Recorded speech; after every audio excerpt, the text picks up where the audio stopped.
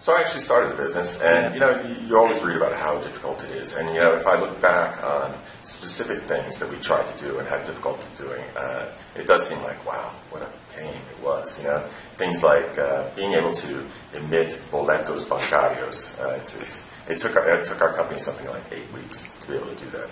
Uh, opening a company takes a really long time. I, I kind of don't remember how long it took because of the way it played out in, in my life, but you know, for sure, it, it, takes weeks, if not months, to open a company these days.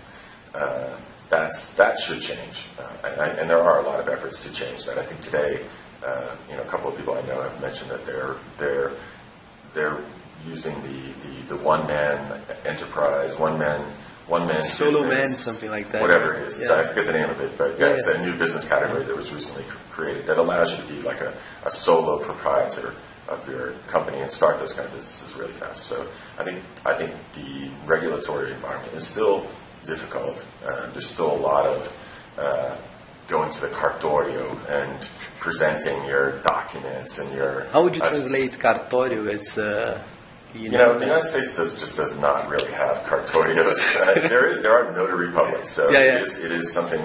There, it is you know occasionally required that you have someone you know, put a seal on your signature and guarantee that that really is your signature uh-huh. for, you know, buying for a real estate transaction or something like that. But the number of times that you need to do that in Brazil is is exaggerated for uh-huh. sure.